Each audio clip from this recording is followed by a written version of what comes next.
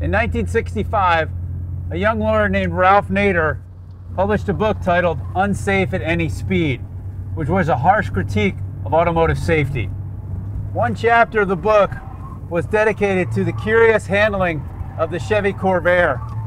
Nader called it the one car accident. So I've arranged to drive a Corvair, and not just any Corvair, but one owned by Ralph Nader himself. I've rented a wide open runway, and I'm here to find out, essentially, will the Corvair kill me?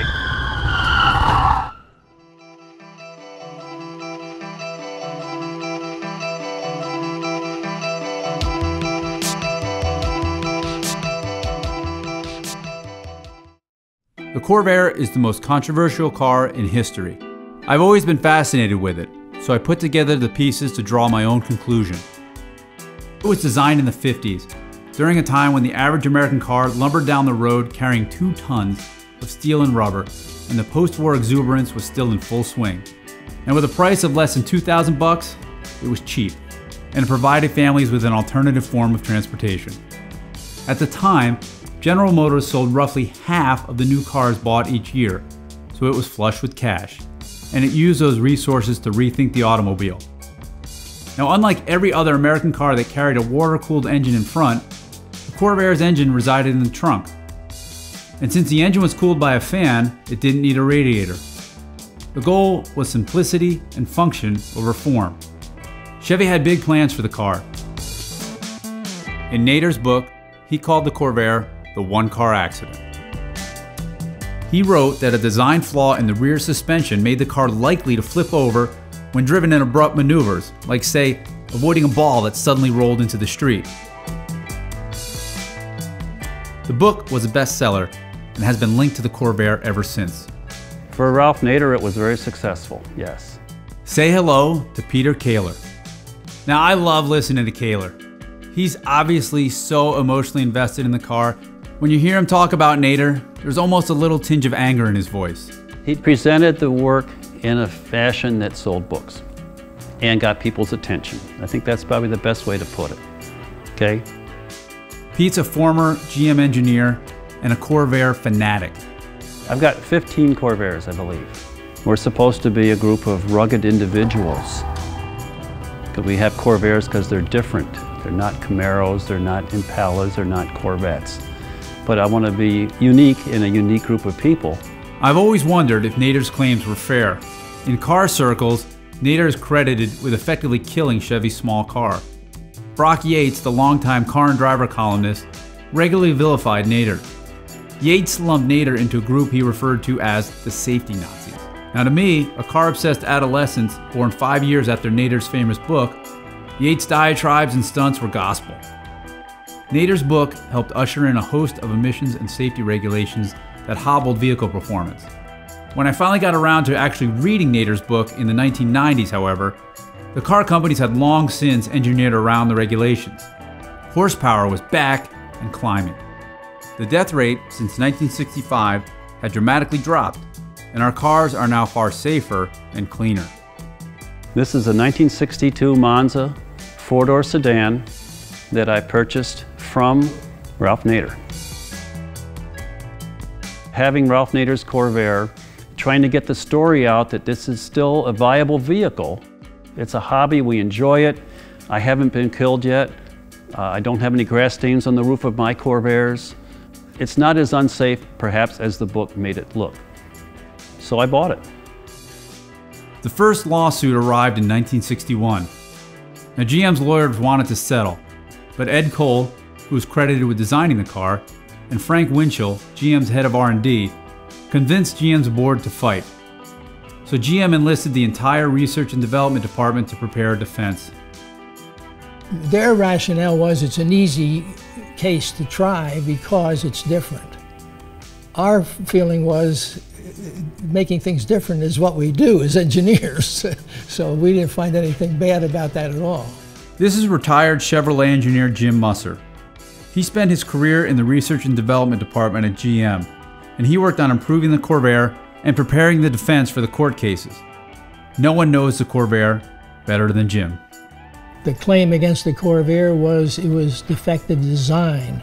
So that meant two things. One is that every Corvair was defective, and two, it was a slight on General Motors engineering that they would engineer a defective car. We felt it had to be vigorously defended, which we did. The Corvair doesn't automatically roll over and die. The Corvair doesn't cause you to be a bad driver. If you know what you're doing, you can drive the Corvair. If you know what you're doing, you can drive a Volkswagen Beetle or a 356 Porsche, which all had the same suspension system that Ralph said was unsafe at any speed. That really isn't true. The problem was too much weight transfer at the rear for two reasons. One, swing axle has a high roll center, which contributes to weight transfer. Because of the weight back there, the coil springs were stiffer, and so that added to the roll stiffness as well. So fully 80% of the weight transfer in cornering was on the rear tires, and that's what caused it to, to oversteer and eventually go out of control. Okay, what these guys are trying to say is that the Corvair wasn't flawed as much as it was designed with a unique purpose, and that was economy. Its rear suspension was simple, so it could be made cheaper and consequently it sold for less than $2,000. The idea here was a family car. They were entered in the Mobil gas economy runs back then. They got over 30 miles to the gallon. They, they won their class several years. That's, that's how Ed Cole envisioned the car. Just a bread and butter, get to the grocery store and back, economical, cheap to buy, cheap to maintain kind of a car. The way it's operated uh, is different from any other car, and if you don't know the differences, you could cause yourself to be in a situation that's hard to recover from. Now, is that the fault of the engineer? Was that the fault of the company that, that built the car and sold it? Or is that just somebody forgot to follow the rules? Now, before you call me reckless, you should know a few things. I've been racing and testing cars for over 20 years. I've been to numerous racing schools, driving is my life, and while I'm not a professional race car driver, I know what I'm doing behind the wheel. I've also rented the perfect facility for these maneuvers. It's an airport with hugely wide runways, nothing to hit, and plenty of runoff. I've known Larry for a while. I trust his ability to drive. My major thing is Larry knows how to go fast, and Larry knows when to say whoa. But even still, I'm nervous. I start slowly. I turn the wheel. I'm unsure what's going to happen. In the back of my mind is that crash footage that's all over YouTube that shows the thing spinning out and rolling. I don't know how strong this roof is, but it's nowhere near as stout as the roofs on today's cars. I've got a helmet, I've got a lap belt, but I've also got three kids at home. The way cars can be rolled easily, many cars can be rolled easily, is to make a hard turn in one direction to get the body to roll as far as it will go, and then suddenly turn it in the opposite direction to add momentum to that roll. As I start picking up speed, cutting the wheel back and forth, I can feel the rear end get light. When you're racing, a car that oversteers like this is a huge benefit. You can use both ends of the car to navigate turns quicker than you would otherwise. I like it. It's fun.